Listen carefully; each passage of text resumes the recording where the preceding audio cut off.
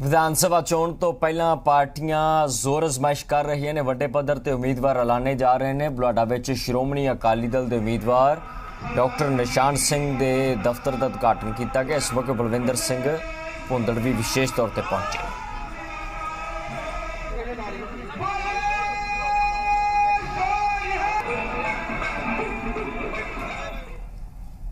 ਵਿਧਾਨ ਸਭਾ ਹਲਕਾ ਖੇਮਕਰਨ ਵਿੱਚ ਅਕਾਲੀ ਦਲ ਨੂੰ ਵੱਡਾ ਝਟਕਾ ਲੱਗਿਆ 25 ਪਰਿਵਾਰ ਕਾਂਗਰਸ ਵਿੱਚ ਸ਼ਾਮਲ ਹੋ ਚੁੱਕੇ ਨੇ।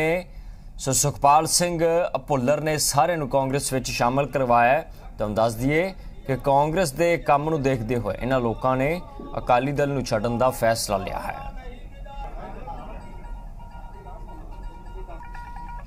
ਉਹਦੀ ਲੀਲਾ ਨਿਆਰੀ ਦੇਖੋ, ਇਹ ਸਾਰੇ ਸਾਡੇ ਬੜੇ ਅਸੀਂ ਚਾਹੁੰਦੇ ਸੀ ਕਿ ਨੇਕ ਇਨਸਾਨ ਆ।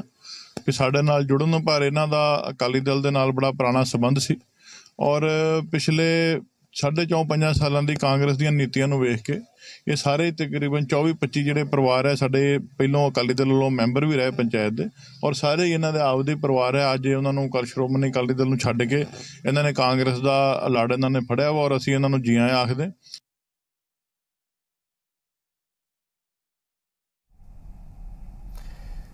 ਅਕਾਲੀ ਦਲ ਨੂੰ ਛੱਡ ਕੇ ਕੁਝ ਪਰਿਵਾਰ ਕਾਂਗਰਸ ਵਿੱਚ ਸ਼ਾਮਲ ਹੋਏ ਨੇ।